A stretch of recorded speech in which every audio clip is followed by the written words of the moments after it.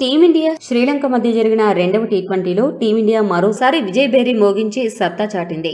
వరుసగా మూడో T twenty సిరీస్ను రోహిత్ సారథ్యంలో టీమిండియా కైవసం చేసుకుంది. ఇక ఈ మ్యాచ్ ఆరంభంలో టీమిండియా తడబడినా ఆ తర్వాత శ్రేయాస్ అయ్యర్ సంజు శాంసన్ జడేజా తగ్గేది లేదు అంటూ సృష్టించిన విధ్వంసానికి శ్రీలంక కొట్టుకుపోయింది. టీమిండియాకు మరో విజయం వరించింది. ఈ మ్యాచ్ అలానే సిరీస్ గెలుపుతో కెప్టెన్గా రోహిత్ శర్మ ఖాతాలో కొన్ని రికార్డులు చేరాయి. ఈ మ్యాచ్లో గెలవడం ద్వారా సొంత గడ్డపై టీ ట్వంటీ క్రికెట్లో అత్యధిక విజయాలు అందించిన కెప్టెన్ల జాబితాలో రోహిత్ మొదటి స్థానాన్ని దక్కించుకున్నాడు. పదహారు విజయాలతో రోహిత్ మొదటి స్థానంలో ఉండగా పదిహేను విజయాలతో మోర్గాన్ విలియమ్సన్ రెండో స్థానంలో ఉన్నారు.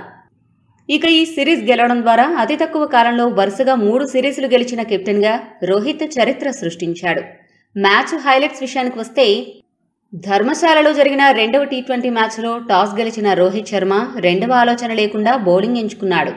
శ్రీలంకను తక్కువ స్కోరుకే పరిమితం చేయొచ్చు అనుకున్న రోహిత్ ప్రణాళిక అంతగా అమలు కాలేదు. మొదట బ్యాటింగ్కి బరిలోకి దిగిన శ్రీలంక ఓపెనర్లు మొదటి బంతి నుండి ధాటిగా ఆడడం మొదలుపెట్టారు.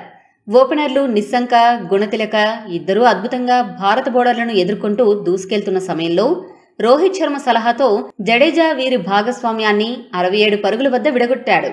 ముప్పై ఎనిమిది పరుగులు చేసి గుణతిలక అవుట్ అవ్వగా ఆ తర్వాత వచ్చిన బ్యాట్స్మెన్ ఎవరూ పెద్దగా క్రీజులో నిలవలేకపోయారు. అయితే చివర్లో ఓపెనర్ నిశ్శంక లంక కెప్టెన్ దాసన్ షనకతో కలిసి చెలరేగి ఆడడంతో శ్రీలంక జట్టు ఇరవై ఓవర్లకు గాను ఐదు వికెట్లు నష్టపోయి నూట ఎనభై మూడు పరుగులు చేసింది. ఓపెనర్ నిశ్శంక పదకొండు బౌండరీల సాయంతో యాభై మూడు బంతుల్లో డెబ్బై ఐదు పరుగులు చేశాడు. ఇక లంక కెప్టెన్ సనక ఆఖరి ఓవర్లలో భారత బౌలర్లపై ఐదు సిక్సర్లు రెండు ఫోర్లతో విరుచుకుపడి కేవలం పంతొమ్మిది బంతుల్లోనే నలభై ఏడు పరుగులు చేసి అజేయంగా నిలిచాడు. భారత బౌలర్లలో బుమ్రా భువి జడేజా హర్షల్ పటేల్ చాహల్ తలో వికెట్ దక్కించుకున్నారు. ఈ రోజు మ్యాచ్లో మన బౌలర్లు అంతగా ఆకట్టుకోలేకపోయారు. ఇక నూట ఎనభై నాలుగు పరుగుల లక్ష్యంతో బరిలోకి దిగిన టీమిండియాకు ఆదిలోనే ఎదురు దెబ్బ తగిలింది. రోహిత్ శర్మ కేవలం ఒక్క పరుగే చేసి దుష్మంత్ చమీరా బౌలింగ్లో బౌల్డ్ అయ్యాడు. మొదటి మ్యాచ్లో అదరగొట్టిన మరో ఓపెనర్ ఇషాన్ కిషన్ ఈ మ్యాచ్లో మాత్రం పదహారు పరుగులు మాత్రమే చేసి పెవిలియన్ చేరాడు నిరాశపరిచాడు. ఇక రోహిత్ అవుట్ అయ్యాక క్రీజులోకి వచ్చిన శ్రేయాస్ అయ్యర్ మరోసారి తన బ్యాట్తో ధర్మశాలలో సునామీ సృష్టించాడు. అయ్యర్కి తోడుగా సంజు శాంసన్ కూడా మెరుపులు మెరిపించాడు. వీరిద్దరూ కలిసి మూడో వికెట్కు నలభై ఏడు బంతుల్లోనే ఎనభై నాలుగు పరుగుల భాగస్వామ్యం నెలకొల్పారు. కానీ ఇరవై ఐదు బంతుల్లో ముప్పై తొమ్మిది పరుగులు చేసి ఊపు మీద ఉన్న సంజు శాంసన్ని ఫెర్నాండో అద్భుత క్యాచ్తో పెవిలియన్ చేర్చాడు.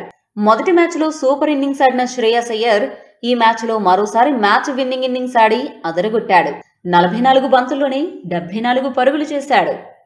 ఇక శాంసన్ అవుట్ అయ్యాక క్రీజులకు వచ్చిన జడేజా ధర్మశాల స్టేడియంలో సునామీ సృష్టించాడు. కేవలం పద్దెనిమిది బంతుల్లో రెండు వందల యాభై స్ట్రైక్ రేటుతో నలభై ఐదు పరుగులు చేసి స్కోర్ బోర్డుని పరుగులు పెట్టించాడు. మొత్తానికి టీమిండియా వరుసగా మూడో సిరీస్ కైవసం చేసుకుని గెలుపు యాత్రను కొనసాగిస్తోంది. ఈ వీడియో మీకు నచ్చితే లైక్ షేర్ కామెంట్ చేయండి. మరిన్ని స్పోర్ట్స్ అప్డేట్స్ కోసం మా ఛానల్ను సబ్స్క్రైబ్ చేసుకోండి.